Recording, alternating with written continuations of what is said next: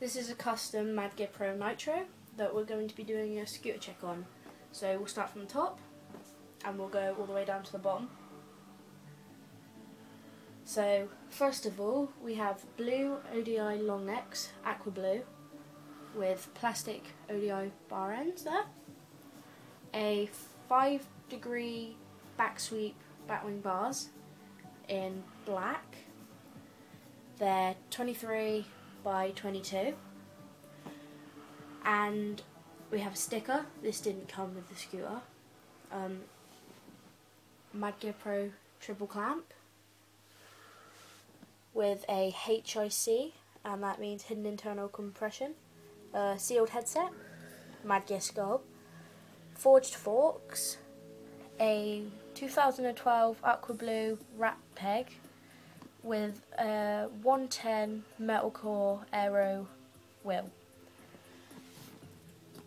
And then we have a Madd Gear deck with blue grip tape. The deck is 18.5 centi- no inches long and it's about 4.5 inches across. Um, there's a another rat peg at the back there, another rat peg, and another wheel which has crank K2 bearings in there.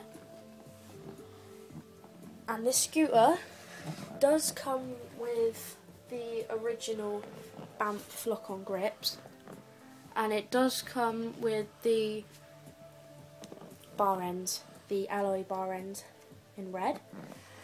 And it does come with a Madd Gear Flex fender, but we had to take that off unfortunately because the scooter kept rattling. So yeah, that's our scooter check. Um, we went for a red and blue theme, as you can see. And I hope you liked our scooter check. Thank you for watching. Please comment, rate and subscribe.